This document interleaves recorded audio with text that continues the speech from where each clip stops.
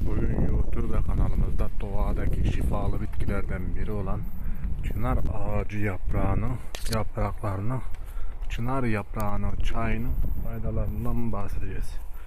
Doğadaki çınar ağacı insan eliyle bir kesim olmadığı takdirde 1500-2000 yıl kadar yaşayabilmektedir. Hücre yenileyici özelliği olan çınar ağacı yaprağı zamanla özü çürüse de sürekli dış katmanlarına yeni derisi oluşarak, gövde oluşturarak sürekli kendini yenilemektedir.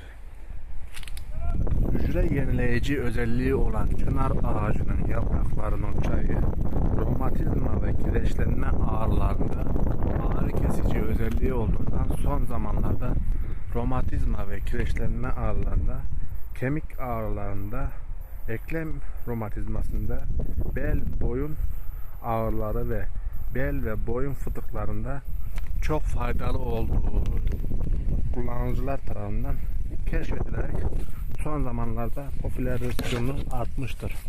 Yine çınar ağacının yapraklarının tohumları da bu küre şeklindeki dikenli top gibi şeylerin içinde tohumlar olarak doğada tohumlarıyla da çoğalabilmektedir.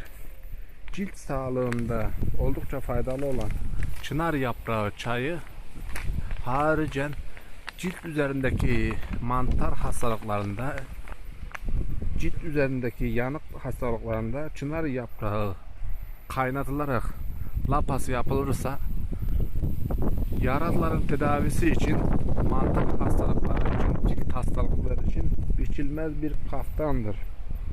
Ayrıca Sahra hastalıklarında, Sahra nöbetlerinde de çok faydalı olan çınar yaprağı çayı Sahra epilepsi hastalıklarında da Sahra ataklarını azaltmaktadır. Diş ve diş eti hastalıklarında diş çürümelerine karşı da yüksek oranda kalsiyum içermesinden dolayı diş eti hastalıklarında da faydalı olmaktadır. Mide bulantılarını gideren çınar yaprağı çayı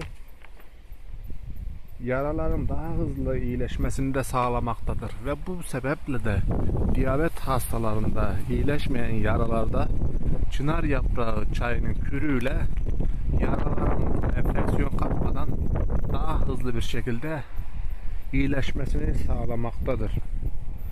Kadınlarda yine adet düzenleyici de olan çınar yaprağı çayı vajinal akıntıları da gidermektedir. Vücuttaki şişkinliği, ödemi, fazla suyu da dışarı atan, idrar ve ter yoluyla da dışarı atan çınar yaprağı çayı zayıflama ve kilo vermeye de faydalı olabilmektedir. İleri yaşlardaki insanlarda özellikle şişman insanlarda hem kadınlarda ve hem erkeklerde diz bağlarında diz kapaklarındaki su toplamalarında şişkinliğe karşı da ödemi arttığı için şişkinlik tedavisinde de ödem artıcı kullanılmaktadır. Kireçlenme ve romatizmanın doğal bir ilacı olan çınar yaprağı çayı her çeşit ağrıları da dindirmektedir. İşte doğadaki çınar ağacının yaprağının doğal bir romatizma ve kireçlenme ilacı olan çınar yaprağının yapraklarının çayının faydalarından anlatmaya çalıştık. Ancak hava çok rüzgarlı olduğu için cihazımızın sesi biraz bozuk çıkabilir. Elde olmayan sebeplerden bugün 60-70 kilometre hızlı esen bir Poyraz fırtınasıyla bu pazar günü karşıya karşıya kaldık. Hoşçakalın. Sığla ağacı tıpkı çınar yaprağı gibi na benzeyen yaprakları olmakla birlikte sığla ağacının çınar yaprağına göre dal yaprakları daha küçük olmaktadır. İşte bu gördüğünüz